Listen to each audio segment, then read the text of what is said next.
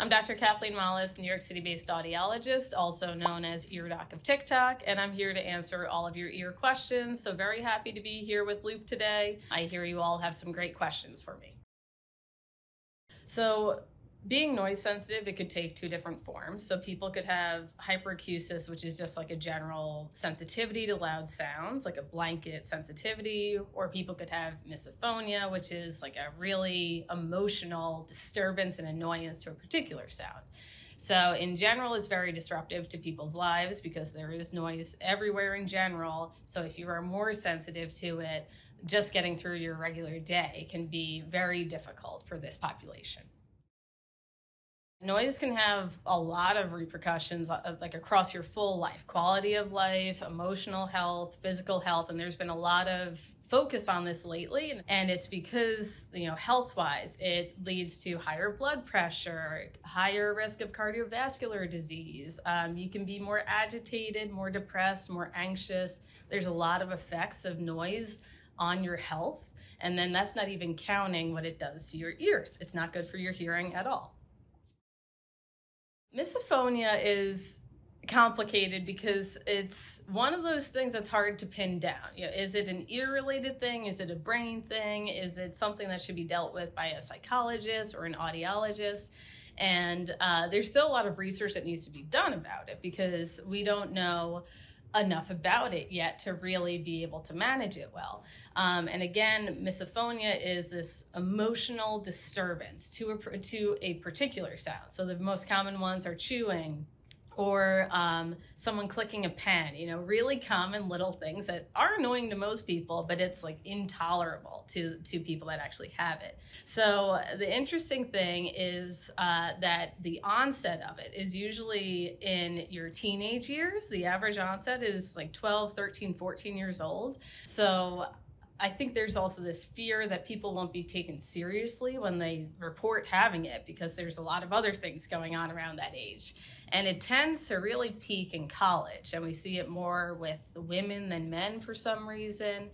But beyond that, there's still a lot that needs to be investigated about it. I think it really falls more into the psychology camp personally than the audiology camp um, just because it does seem like you really have to control the reaction to it more so than um, actually addressing the input or the, the actual stimulus uh, that would be more of the audiology side they go hand in hand. Sensory overload, uh, certainly people report that auditory stimulus is part of it. That definitely sounds are a big part of this sensory overload. And that could be like it, you're in a meeting, someone's clicking their pen, someone's chewing gum, someone's eating a snack, whatever it is, and you have all these really annoying triggers going on can make it really hard for you to focus. So it could be misophonia. It could also just be this general hyperacusis again because of all of the sounds around you. So they are all under the umbrella, I would say, of sensory issues, sensory disorders. So for misophonia, um, this is where there's some overlap with tinnitus, which is the ringing and buzzing in your ears. That both of them, there are some things that again fall within the audiology scope of practice, but a lot um, will also fall into the psychology or cognitive behavioral therapy, really, of we want to control your reaction to these things and make sure that these sounds are no longer so triggering for you. And that's like a trained behavior, which is why it can be better done by psychologists sometimes. So tinnitus, certainly that's true. Misophonia, that's true. If we talk about hyperacusis and the sensitivity to loud sounds, that does fall more firmly in the audiology camp. It can be helpful to reduce the stimulation or how much input you're getting, which is where earplugs come in handy. Um, but you want to make sure that you're careful with what kind of earplugs you're going to be wearing because you don't want it to be too powerful essentially. You don't want it to totally block out the sounds because then you're just sidestepping the issue and you're ignoring what is what the problem is instead of developing that tolerance of being able to handle it. So you actually want uh, earplugs that let some sound in. It's the same principle when you go to a concert. You want to hear what you what you are going there for. You want to hear the music. So you want to get that stimulation but just um, to a level that is tolerable for you, which is where the earplugs come in. It will lower it so it's not quite as triggering for you. Take the edge off. Yeah. Listening to AirPods or headphones or anything like that, absolutely. And this is something that um, has been a high priority for audiologists lately and then it's really been gaining more attention like world health organizations now involved there's all of these studies coming out and there was a big study that was released in uh, december i believe that showed that 1 billion young adults age 16 through 35 are at risk for permanent um, hearing loss due to unsafe listening habits. So all of this is self-inflicted. It's people that are not using their headphones appropriately. And, you know, AirPods, headphones, are having cell phones in general all great, but our ears were not built to have to tolerate that long of noise exposure and certainly not that direct of noise exposure. So it certainly is something that needs to be talked about. And I think a lot of people, it's a lack of education. They don't know that they are permanently damaging their hearing loss and it's fully preventable. All you have to do is lower the volume, make sure that you're paying attention to both how loud you're listening and how long you're listening for. As far as um, putting anything in your ears, you also have to think about your ear health. So this goes for earplugs, in-ear headphones, anything that's going inside your body, you need to think about how clean it is. And I think that it's pretty disturbing when I see people's AirPods and I look at them and how dirty they are, or people's earplugs and I ask them, How long have you been using them? And they say they've been wearing them every day for a year.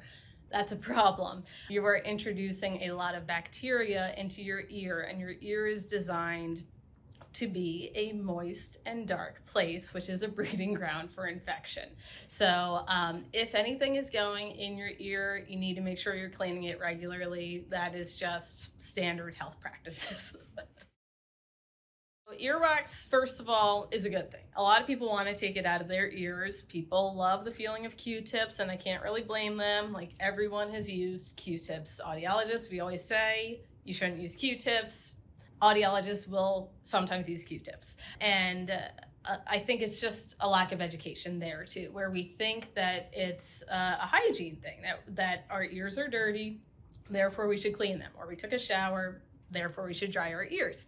And uh, really, earwax is there to clean our ears for us. It is a protective mechanism for the ear. So it keeps a certain pH level in the ear. Um, that again makes sure that uh, bacteria can't grow in there. It really makes it sort of a hostile environment for for any sort of infection. Um, and then it also evolutionarily it served the purpose of preventing any sort of bugs or foreign bodies from entering your ear.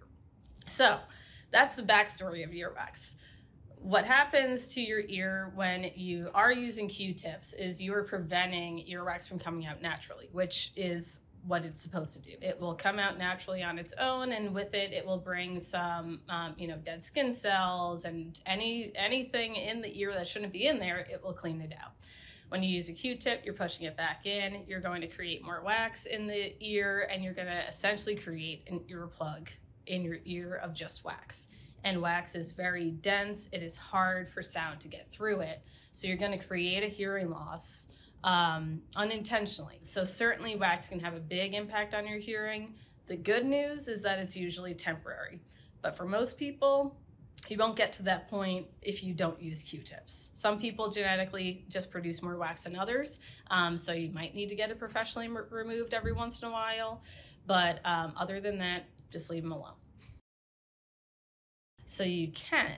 That's definitely a potential risk that you should be aware of. It certainly doesn't make it a strong enough argument to not use earplugs. Using earplugs and protecting your hearing definitely trumps the potential of pushing wax in, in my opinion.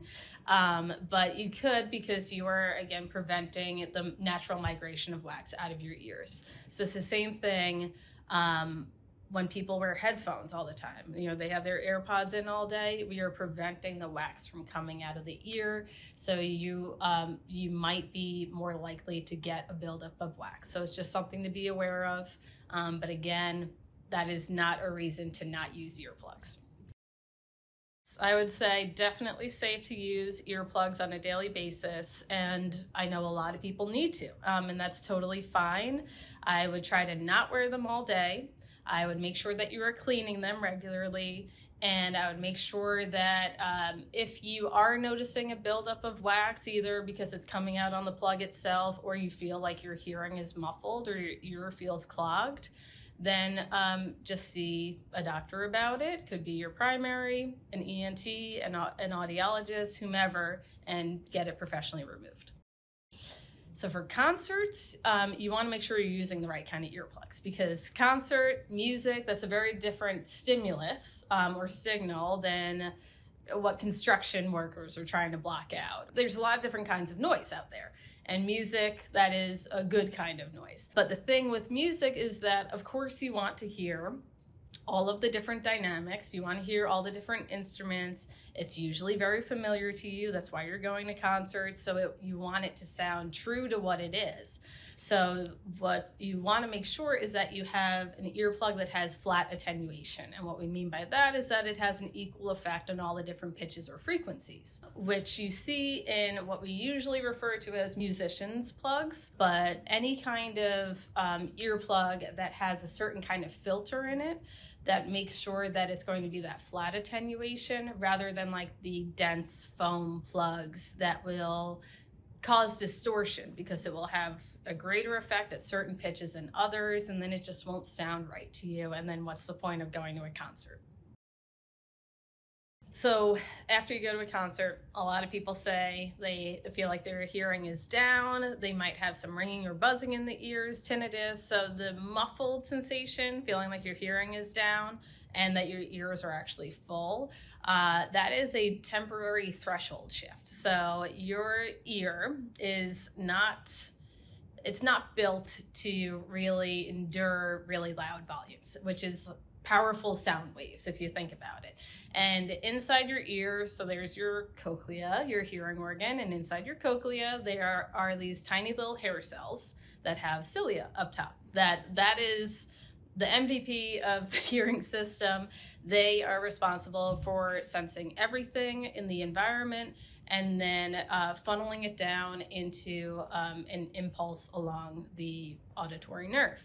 So if these hair cells aren't responding appropriately, then you're not going to be as sensitive to sound. That is what hearing loss is at its core, is changes to the hair cells. So these little cilia, they um, sort of get overpowered with this very, very large sound wave and it damages them temporarily. So they are not as sensitive and they can't send as much information up to your brain, which is a threshold shift. We call it temporary because um, after a concert, your thresholds will usually come back up. So if you did a hearing test right after a concert, your hearing might be down. If you came back a couple of days later, it would probably be up if it were a true temporary threshold shift. Um, and then along with it, the feeling of fullness would, would go away also. The problem is that even if your hearing is coming back up, the temporary threshold shift can have this really sort of hidden damage um, that it's doing over the long term. And a bunch of temporary threshold shifts can add up to a permanent threshold shift, which is what we call noise induced hearing loss. And that is what the 1 billion people are at risk for right now based off of that last study. So it is all related to the damage that the way too loud sounds are doing to those hair cells. And if you're lucky, those hair cells will bounce right back up. If you're not, then those hair cells are still down, and that's going to be a permanent hearing loss. I would tell them that they should be worried if it lasts more than a couple of days. That is probably a sign that something permanent happened and that perhaps that one noise exposure was way too powerful or that was the last straw of you've just been doing this too long and you've gone too many times to a concert unprotected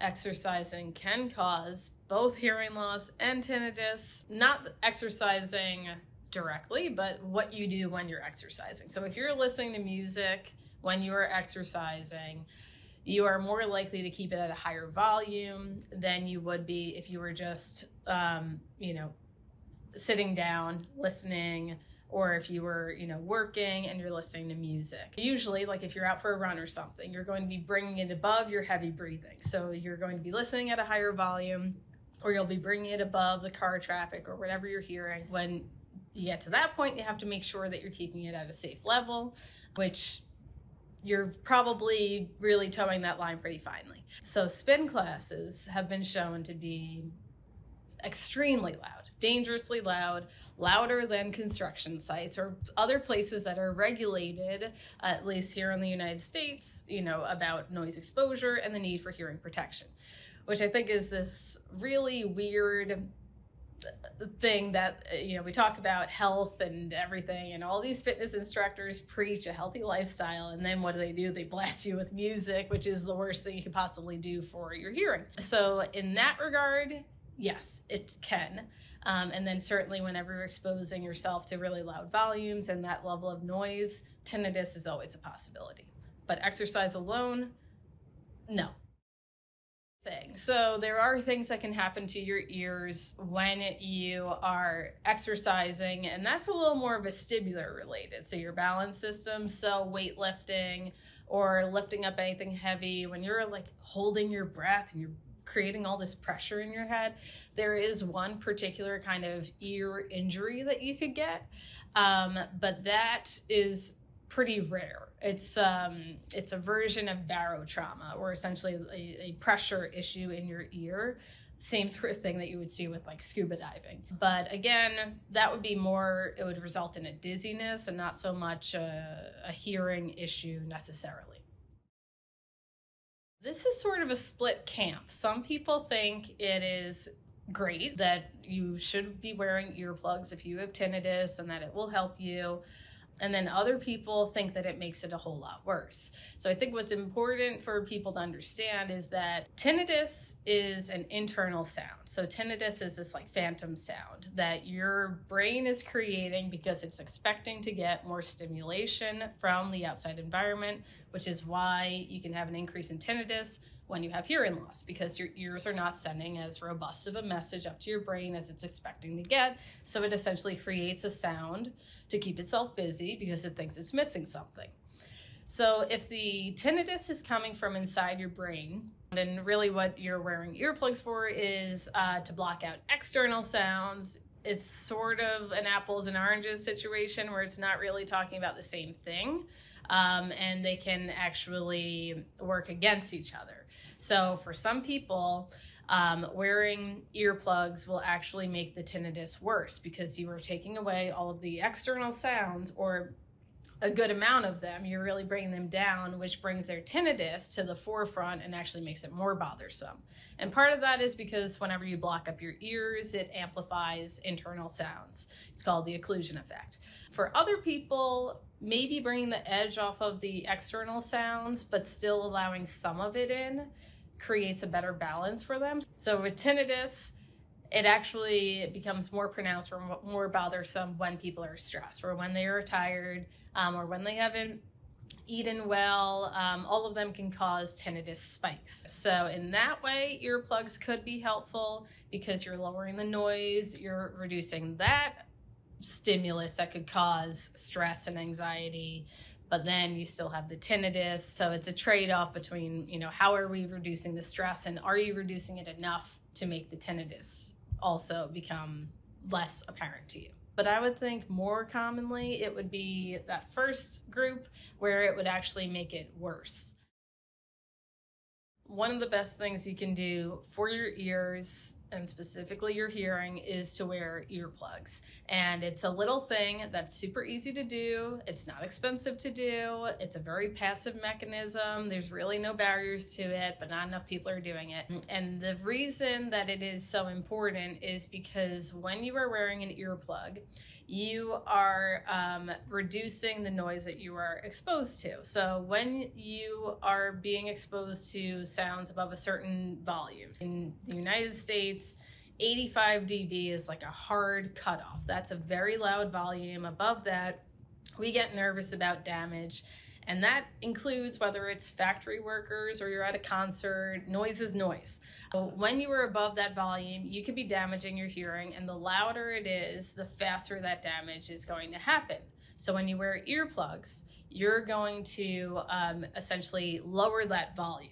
So you're wearing them in your ears, and when it goes through the earplugs, the uh, the sound signal that's actually getting to your cochlea and the hearing organ is going to be lower. It will be safer, which means you can enjoy certain environments that would be too loud for you to be in without them, like a concert.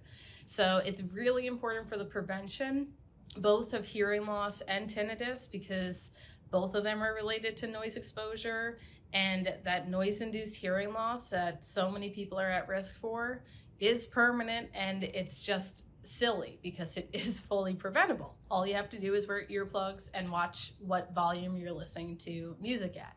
Um, and then tinnitus, we know, is very much related to damage in the ears. So if you have damage in the ears from noise, you're more likely to develop tinnitus. So you're reducing your risk of that as well with earplugs custom earplugs and then loop. Um, i sort of think of them as uh, two different categories sort of. Um, they're both doing the same thing. They are both lowering the volume again to make sure that you are listening in a safe range to reduce any damage to your ears um, the custom hearing protection i think that comes in handy for some people that have unusually shaped ears or perhaps are really bothered with the occlusion effect or um, that feeling of being plugged up and their own voice seems amplified and um, the reason that custom hearing protection can be good for that is because we are putting it so far into the ear that once you get to the bony part of your ear canal, half of your ear canal is bony, half of it is cartilaginous or made of cartilage. Once you get into that bony segment, you won't get as much of that occlusion effect. But for a lot of people, um, I think loop or any more generic earplug works just fine. And that is because it's still the same amount of power, the same amount of noise reduction.